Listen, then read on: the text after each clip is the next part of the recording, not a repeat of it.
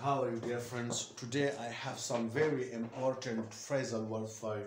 I have already discussed about phrasal verb in my previous lectures.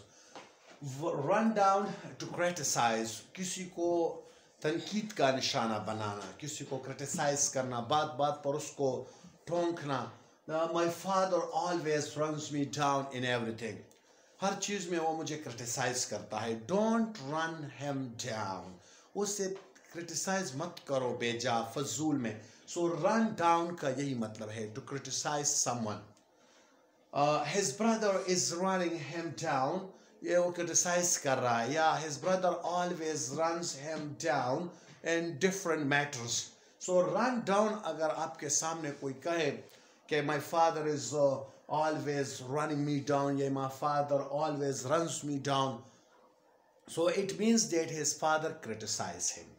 Uh, run into collide with meeting by chance दो मतलब है run into run ran run run का अगर लफ्जी मतलब देखे तो दौड़ना है run ran run run into अब ये phrasal verb बन गया it means collide with किसी चीज़ के साथ टकराना the car ran into the electric pole the car his car ran into the electric pole it doesn't mean that his car ran and uh, mm, like as usual हम इससे जो मतलब देते हैं, दौड़ना no ran into का मतलब है टकराना his car ran into the electric pole I ran into an old friend yesterday ran into का दूसरा मतलब है meet by chance to meet someone by chance for example I meet uh, I ran into an old friend yesterday he ran into his uh, old friend old friend the previous day. I will या जिस तरह आप इसको use कर सकते हैं जिस tense में यूज़ कर सकते हैं ये वर्ब चेंज होता है ठीक है? So run into two two meaning है। वन है टू कोलाइड विद किसी चीज़ के साथ टकराना और दूसरा मतलब है to meet by chance by chance mean किसी के साथ इत्तेफाकन मिलना।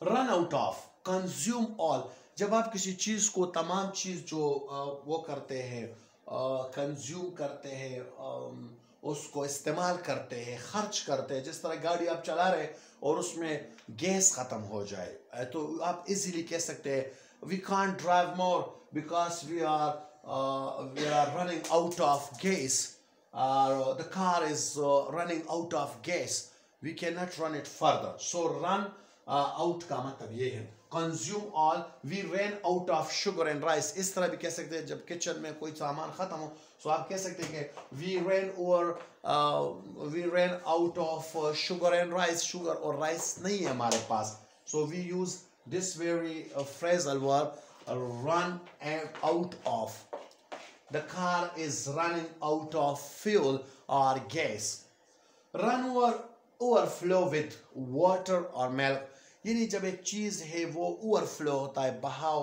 उसका बढ़ जाए पानी से या पा, मिल्क से अगर बोतल में ज़्यादा मिल्क है या बर्तन में तो हम रन ओवर कह सकते हैं। The river is running over with water यानी the river is overflowing the river is overflowing यानी हद से ज़्यादा उसमें रेवर में क्या है? पानी है।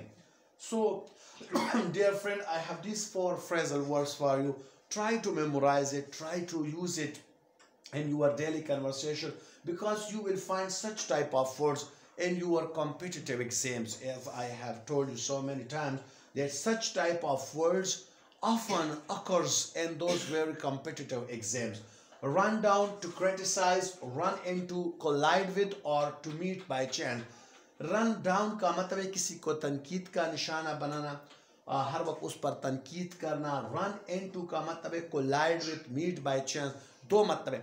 एक चीज़ के साथ टकराना या किसी से इत्तेफाकन मिलना। I ran into an old friend yesterday run out of mean चीज़ का खत्म हो जाना। जिस तरह गाड़ी में फ्यूल खत्म हो जाता है, हम कहते हैं the car is running out of gas we can't drive it further on we can't drive it या we are run out of gas खत्म हो गया है।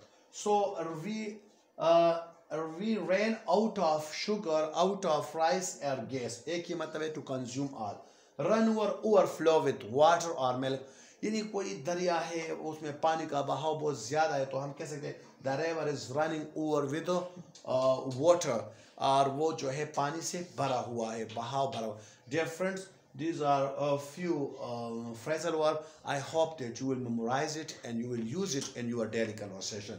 Thank you very much. Uh, stay with me. Take care